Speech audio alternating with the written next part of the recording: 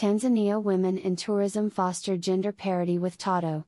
Dubbed Tanzania Association of Women Tour Operators, TAWTO, with its base in the country's northern safari capital of Arusha, this movement intends to set a gender parity agenda in the $2.6 billion tourism industry.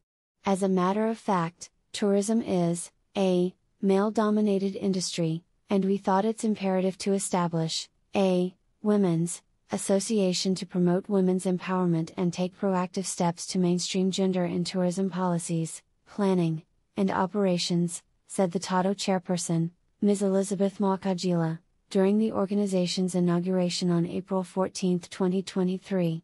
With 40 founding members who are all women tour operators in Tanzania, she said that TAWTO's membership includes a diverse representation of women with different education and socio backgrounds who have fought extremely hard to excel in the male dominated industry.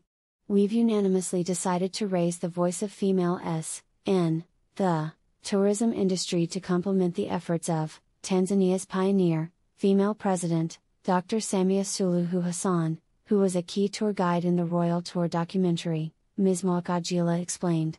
TAWTO will also step up efforts in promoting the tourism industry with a focus on conservation as well as encouraging women, especially young girls, to venture into the business by providing them with training on tourism and community development. The idea is to ensure tourism remains a leading foreign currency earner in the Tanzania economy. Tourism should be promoted and developed in a sustainable manner and ought to benefit the local communities, Ms. Mwakajila stressed. TAWTO will also offer business training and exposure opportunities to its members as it seeks to partner with its international peers and other tourism related organizations in a bid to enable each other through training and the exchange program.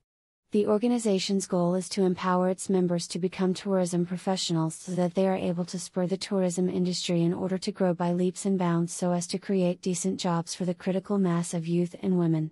We believe that when women prosper in business, they will create employment opportunities for other women, become economically independent, and able to build a prosperous society, the TAWTO chief noted.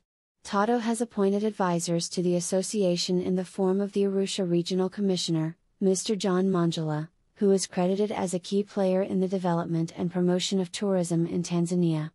Also appointed is tourism guru, mentor, and role model to many young women in tourism in Tanzania and the former managing director of the Tanzania Tourist Board, Ms. Devota Mdachi.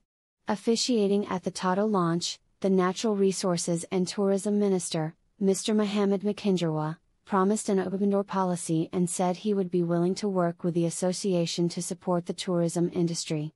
The beginning is always tough. We have come to encourage you. I believe our presence as a ministry will be a catalyst to your performance in conservation and selling many and unique tourist attractions the country is endowed with, Mr. Mchengerwa said. He expressed his expectation that TAWTO will hook members from across the country, especially from the untapped southern tourist circuit as a strategy to relieve the northern circuit of tourist traffic. The 1999 tourism policy emphasizes sustainable tourism and acknowledges contributions of different players, including women. I congratulate TAWTO for performing its policy duty. Participation of women in the tourism value chain is high on the agenda. This is reflected in the country's first female president taking part in leaving her office to promote tourist attractions, the cabinet minister noted. Tanzania is endowed with rich natural resources, more than any other country in Africa, Mr. Mchengerwa said, adding that the president, Dr. Samia, has added value for the tourism value chain and shown the way for Tanzanians to actively participate in the industry. It goes without saying that a number of women engaging in the industry has grown, ranging from tour operators to tour guides, wardens, and in the hospitality service provision. You will now enjoy significant support than ever received in the past. We have opened the doors at the ministry for listening at you.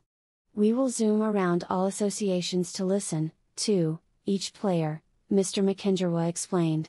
The tourism industry was hobbled by the COVID 19 pandemic, but owing to joint efforts of President Dr. Samia and key travel and tourism industry players, the number of tourists increased to 1,454,920 in 2022, earning the economy $2.5 billion from about 900,000 the previous year.